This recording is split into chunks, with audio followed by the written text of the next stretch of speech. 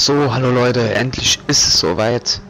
Der Devil May Cry 5 Let's Play beginnt. Ich habe eigentlich schon angefangen hier das Ganze aufzunehmen.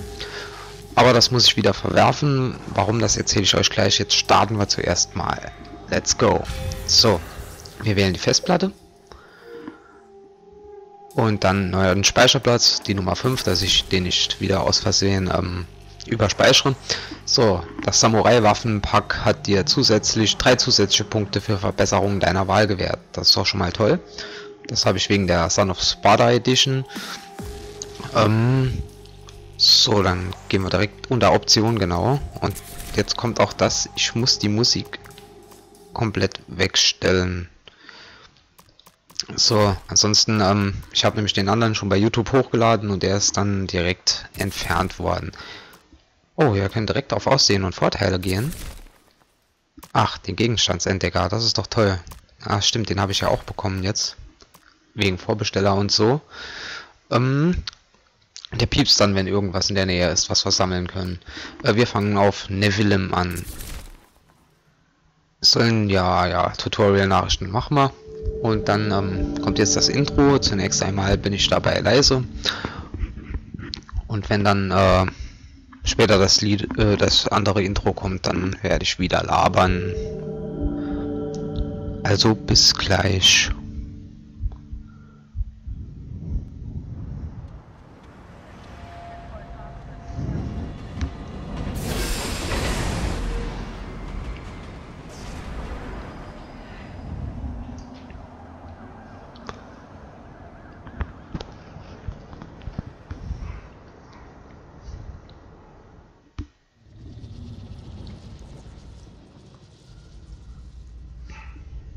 Genau, bis zum Börsenschluss am Freitag. Nein, mehr Zeit gibt es nicht. Sie wissen, was Ihnen bevorsteht, wenn Sie sich nicht daran halten. Nein, das ist keine verschleierte Drohung. Ich bin ganz offen. Wenn Sie sich weigern, haben Sie den Zusammenbruch der Wirtschaft zu verantworten. Und ich kümmere mich darum, dass Sie machtlos in der Gasse enden. Ist das klar genug? Gut. Also am Freitag. Einen schönen Abend noch, Herr Präsident.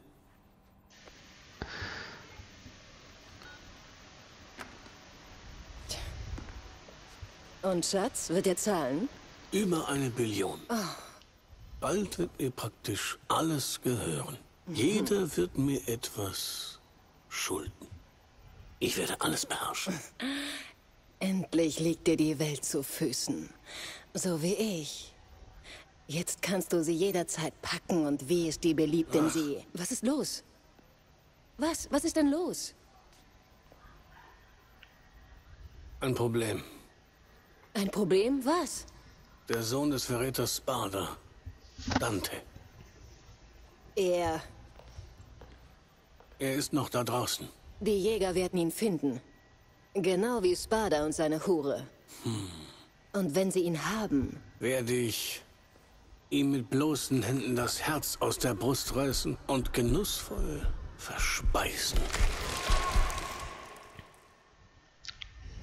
Capcom.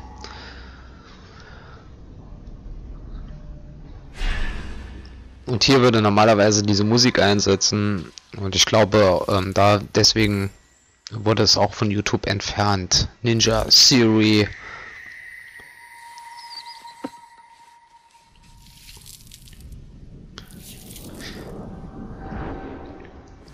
Das ist natürlich jetzt schade, ohne Musik passt das Ganze hier noch besser. Aber egal, da müssen wir durch. Drecksgamer, nur so am Rande erwähnt. Ähm, tja. So, ich, ich habe mittlerweile das Spiel schon durch auf Nephilim, äh, Nephilim und ich bin dran, ähm, jetzt überall einen Triple S Rang zu machen. Und dann ähm, nehme ich mir so einen Spartas vor die Brust. Ähm, ja, ansonsten, was gibt's noch zu sagen? Ohne Musik ist dieses Video nur, nur halb so eindrucksvoll. Aber leider müssen wir da durch.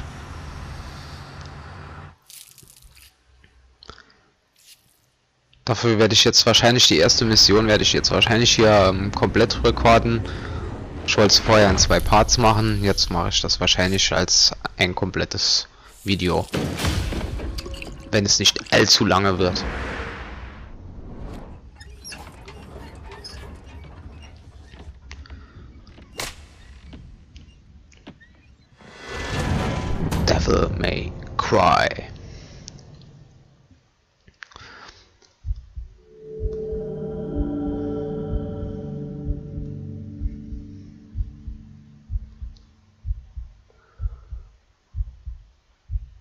Blab, blab. Laden, laden, laden. Bin Laden.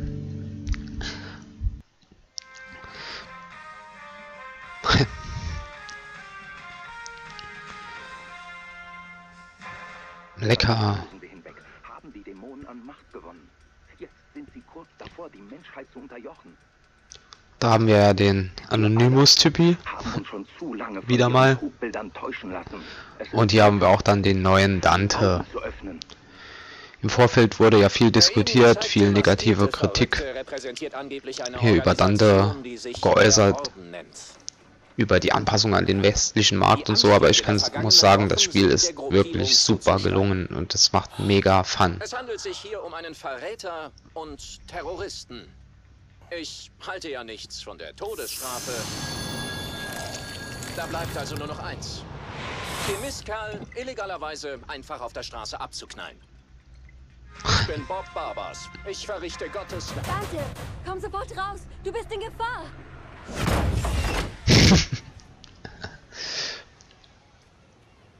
Wer bist du? Was willst du? Du warst achtlos und hast Spuren hinterlassen. Er ist hinter dir her. Was erzählst du da? Wer ist hinter mir her? Ein Jägerdämon. Er ist da.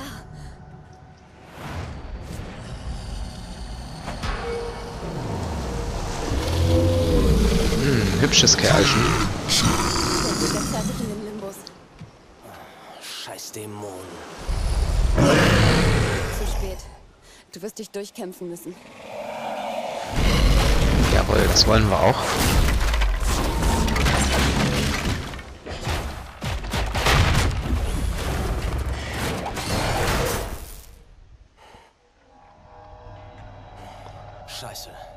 Wieder im Limbus.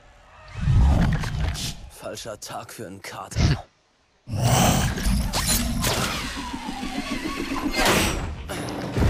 Das ist Trailer Park Shit. Nimm deine Drecksklauen von meinem Trailer. Zack. ja.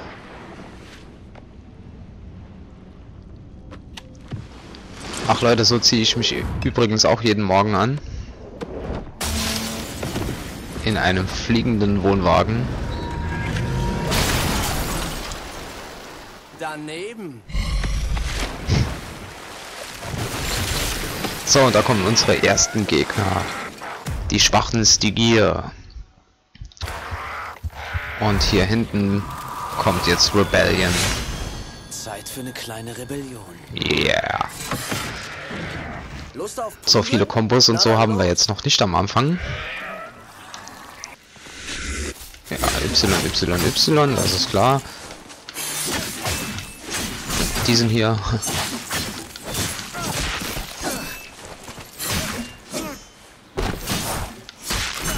Der ist schon tot. Deswegen kann man noch nicht... Ja, was ist denn... Hier auch nicht unbedingt so viel reisen.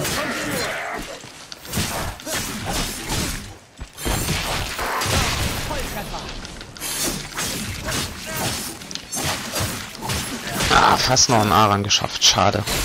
Vielleicht, ah, vielleicht klappt's aber noch.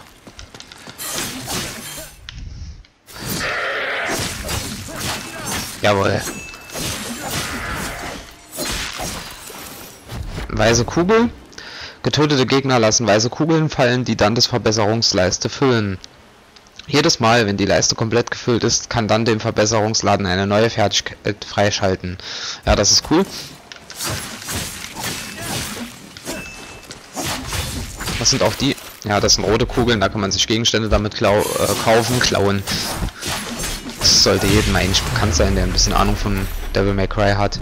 Diese weiße Kugeln sind jetzt speziell ein bisschen neu und das gab es so in dieser Form noch nicht. So, in Airhike haben wir diesmal auch von vorne herein. Und da ist auch schon Ebony und Ivory.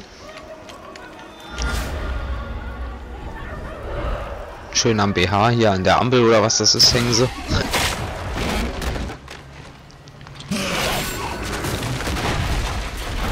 No escape.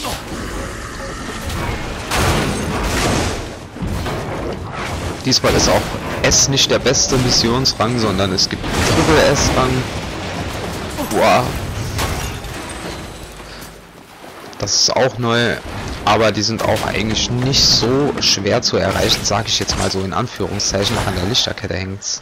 Ebony, Ivory, ich hab euch vermisst.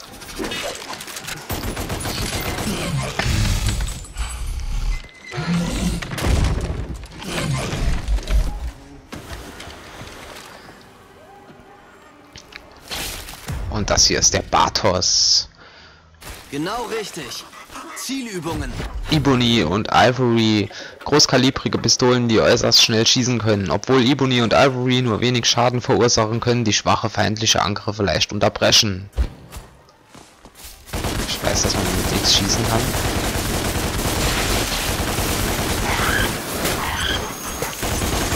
Scheiß Bomben hier schmeißen.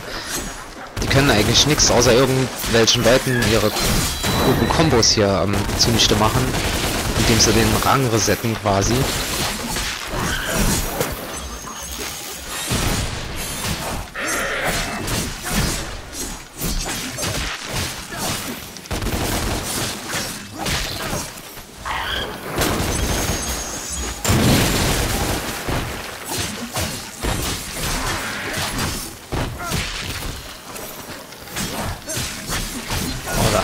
Oh, Home Run.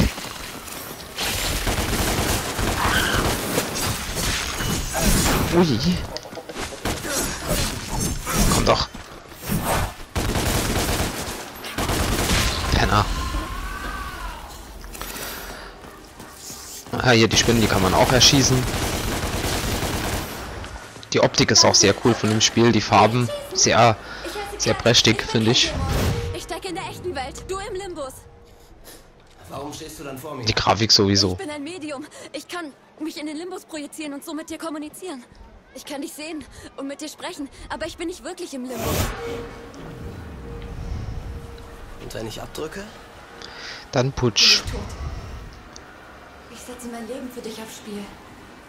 Ich will helfen. Ich brauche keine Hilfe. Der Jäger hat dich in den Limbus verschleppt.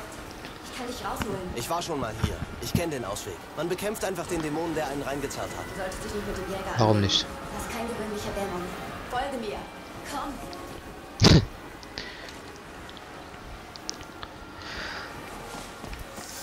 Hier, die geben dann auch rote Kugeln.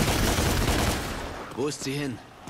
Die kann man immer gebrauchen. Und hier haben wir die nächste Neuerung, ähm, die Collectibles, also das sammelbare Zeug. Hier kann ich es euch mal zeigen. Im Start, es gibt Schlüssel, Geheimtüren und verlorene Seelen. Und das hier ist so eine verlorene Seele, die muss man dann hier so niedermachen.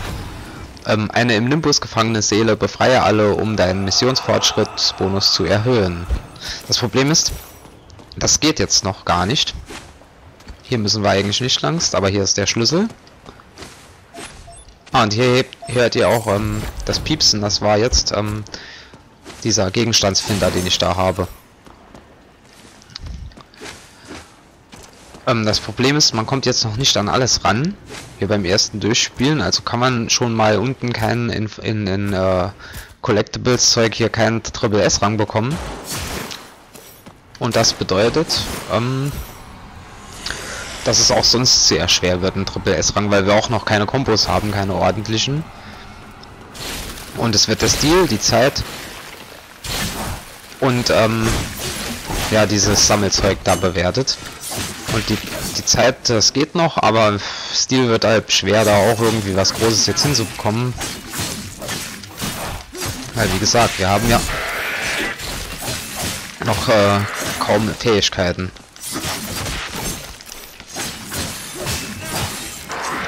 Aber in der nach der nächsten Mission ändert sich das schon ein bisschen. Da haben wir ein bisschen mehr Möglichkeiten.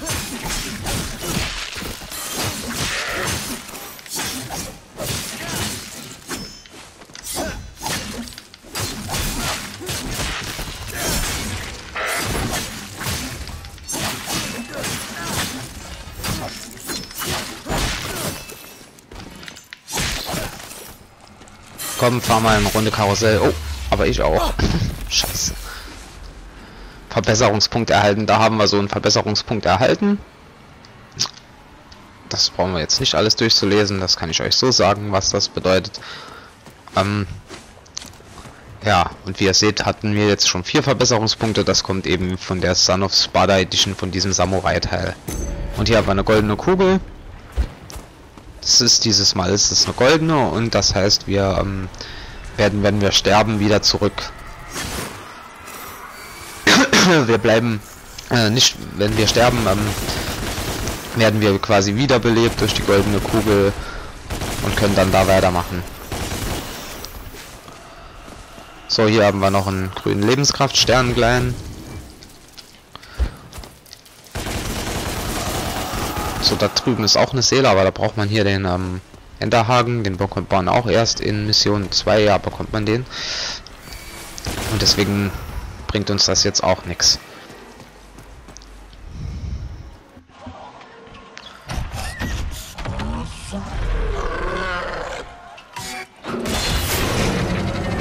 Ist das mein Mantel? Wie ist denn da gelandet? Das ist eine gute Frage.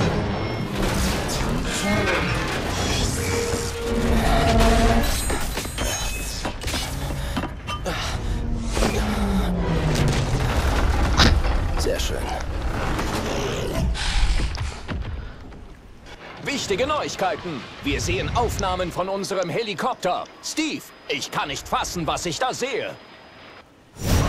Das sieht doch cool aus. Da haben wir wieder Freunde. Au. Oh, jetzt wurde, wurden wir auch noch getroffen von diesem Affenkopf. Diesem Zoo-Ausbrecher.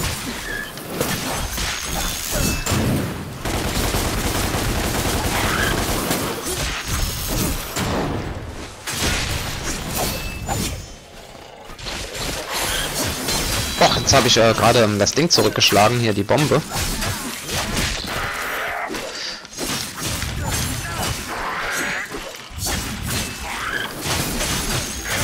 Schatze! Ich sag doch, diese Affen gehen mir übelst auf den Sack, diese fliegenden Mongos.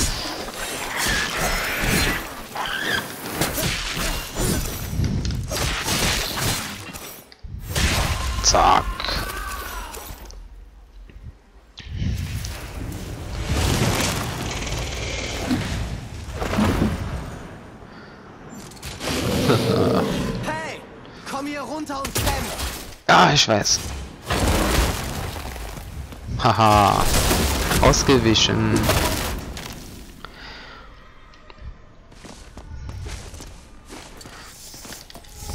Komm, gib mir Kugeln. Verschwinde! Verschwinde.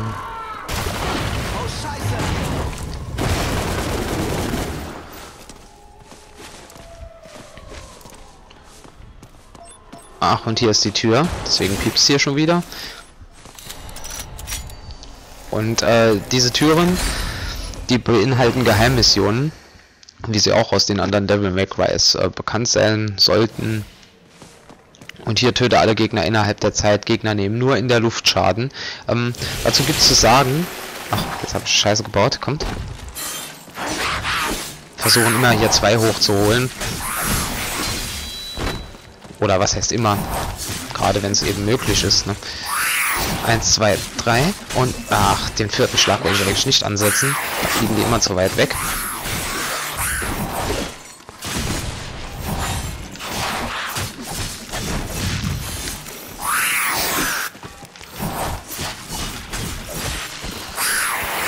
Haha.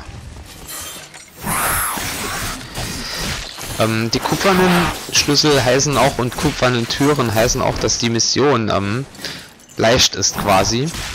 ist gleichbedeutend mit Leichtkupfer und ähm, da gibt es noch Silber, das werden dann anspruchsvollere Missionen, Gold sind die schweren und dann gibt es noch einen Schlüssel, Elfenbein und ähm, ja, das ist dann die Über-Mission, aber die geht auch eigentlich. So, jetzt haben wir hier ein Gesundheitsteil bekommen, ein Gesundheitskreuz, aber nur ein Bruchstück davon. Und das heißt, wenn wir vier davon sammeln, dann geht unsere Gesundheitsleiste wieder eine Stufe höher. 10% mehr Gesundheit, glaube ich, ist.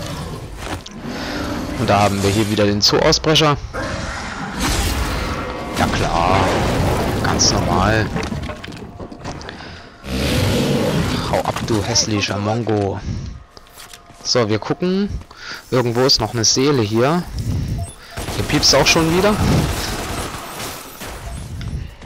Wir holen uns jetzt auf jeden Fall rote Kugeln mit. Ist mir jetzt alles an. Ach, hier kommen wir erst rein später. Auch. Ach, hier ist eine Seele.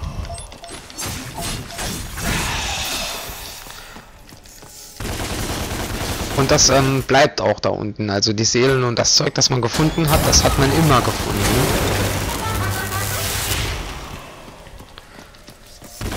Ist ja irgendwo auch klar. Kann ja schlecht zweimal das Zeug finden, wenn man es schon... Und deswegen ähm, braucht man dann später nur noch, wenn man alles gefunden hat, braucht man nur noch Wert auf Stil und die Zeit zu legen, um dann auch den höchst begehrten höchsten Rang, den Triple S Rang zu bekommen. So, jetzt kommen wir dann hier ins Uhrwerk oder was auch immer das sein soll. Nicht klasse. Ja, was auch immer. Horrorkabinett.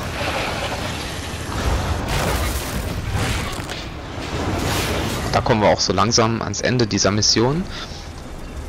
So, jetzt bekämpfen wir noch die Gegner und dann erzähle ich euch noch ein klein bisschen was.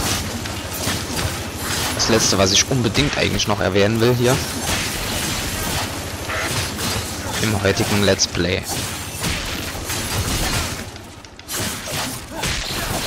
Hier ist schon äußerst schwer, einen Aran zu bekommen. Ah, jetzt haben wir ihn. Super, das war's doch, oder? Ne, da muss noch irgend... Ah, da ist noch einer. Ah, geh mal eine Runde ähm, hier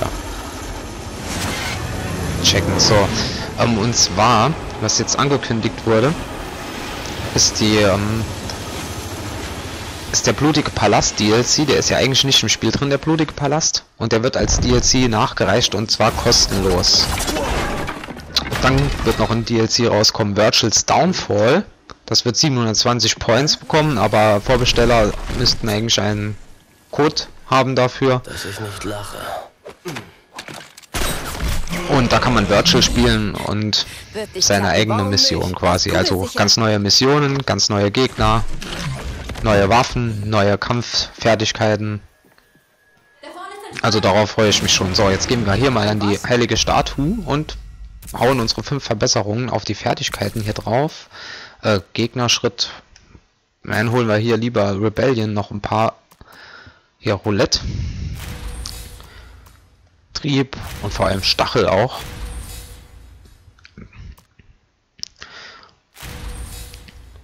Ähm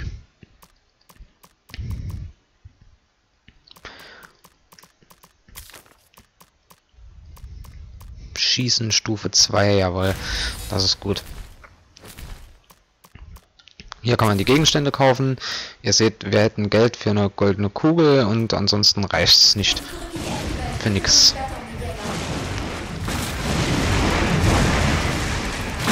So, dann folgen wir hier mal Cat.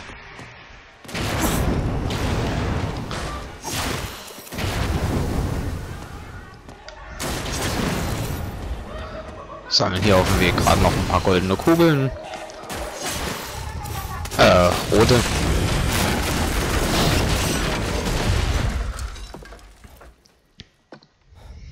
Also gut. Kämpfen wir. Und da kommt 12 Haze. Warte. Ah, und die Cat. Die Mrs. Molotov. Serviert wieder Cocktails. ist eine feurige Angelegenheit. Cocktail, der Jäger. Ja, Ich bin auch hart nehmen. Genau wie Ha. ich. Wusste ich doch. Schieß mal ein bisschen auf seine Fratze. in seine Fratze, bis er hier zusammenknickt. Ich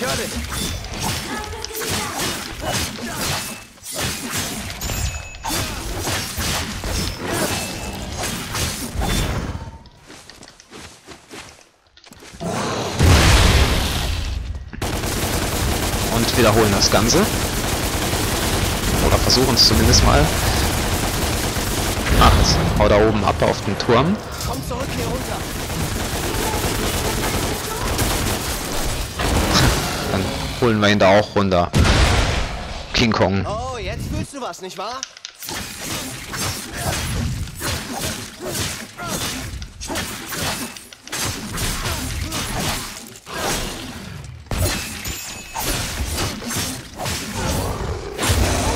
So nicht, mein Freund. Boah.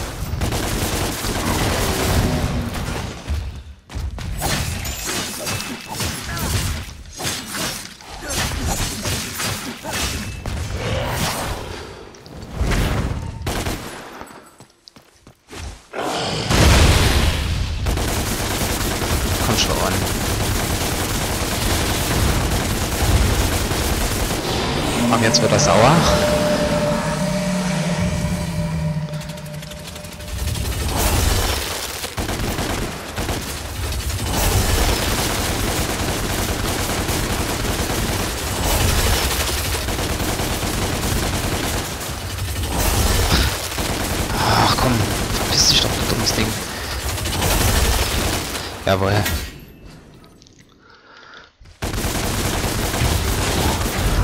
Boah, das war knapp, meine Freunde.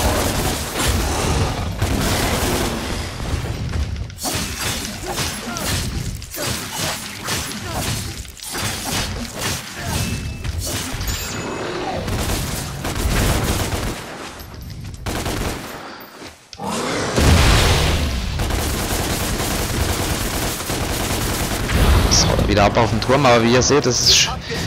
Oh, bin ich denn hier? Sehe ich ihn nicht.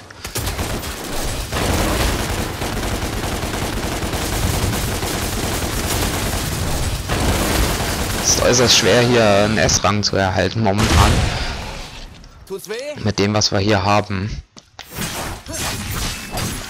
Aber jetzt könnte es klappen, jawohl.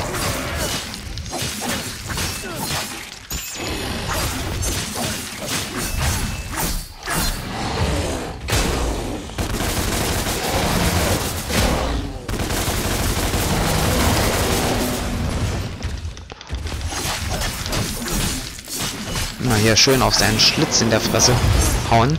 Das?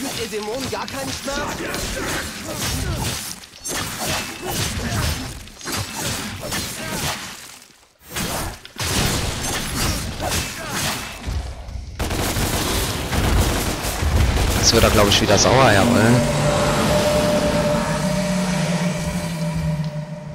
Boah! Verdammte Scheiße.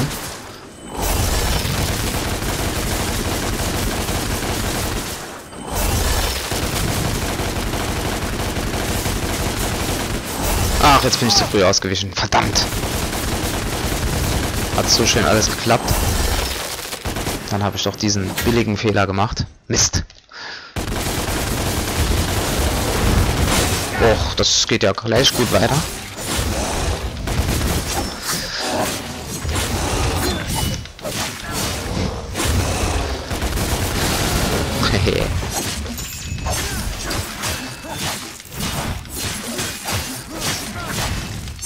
Zack.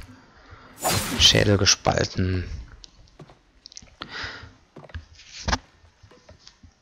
Aus und vorbei. Yeah. Sohn des Sparda, Was für ein Sohn? du bist entdeckt. Was für ein Sohn. sterben.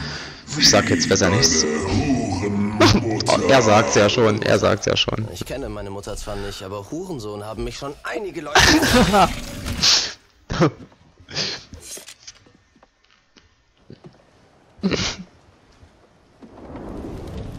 Ich glaube, dass er den leicht erzürnt.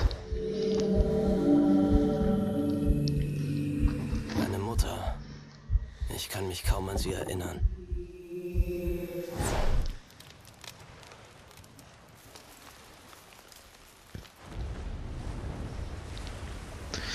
ein kleines Schlachtfeld hinterlassen.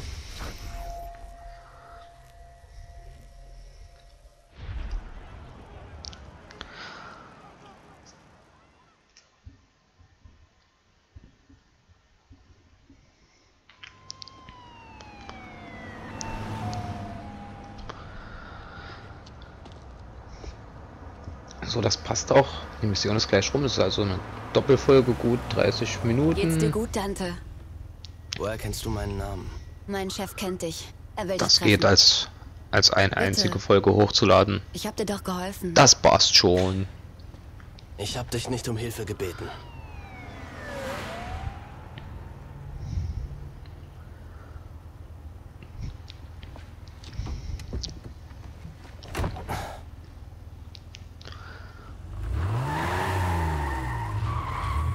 Wissen alles über dich, Dante. Ich gehöre zum Orden. Hast du schon mal von uns gehört? War da nicht etwas mit einem maskierten Kerl im Internet? Das ist mein Chef. Wunderbar, kann es kaum erwarten. Wir erhalten gerade Berichte über einen terroristischen Anschlag der Ampere im Westen der Stadt. Und wie es mit diesem Chef weitergeht, das erfährt ihr dann nächste Folge. Aber wir gucken uns jetzt natürlich noch unseren Missionsspiegel an und hier den Rest vom Video. Am wenigsten erwarten, stattfinden könnten. Jetzt haben wir deine vierte Sohn des Sparda. Es ist nur noch eine Frage der Zeit. Bis du fällst. Dreiäugiger Bastard.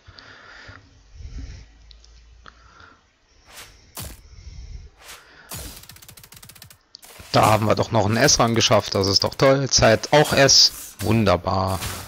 Fortschritt wird natürlich, ja, A-Rang ist auch noch in Ordnung.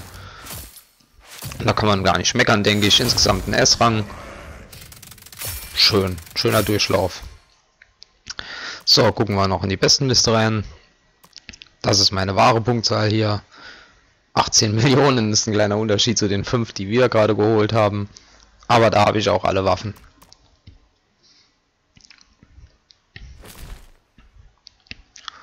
Und demnach war das gar nicht mal so schlecht. So, dann machen wir das nächste Mal weiter. Ich hoffe, ihr hattet Spaß. Und wir sehen uns das nächste Mal wieder. Bis dann, euer Spooky.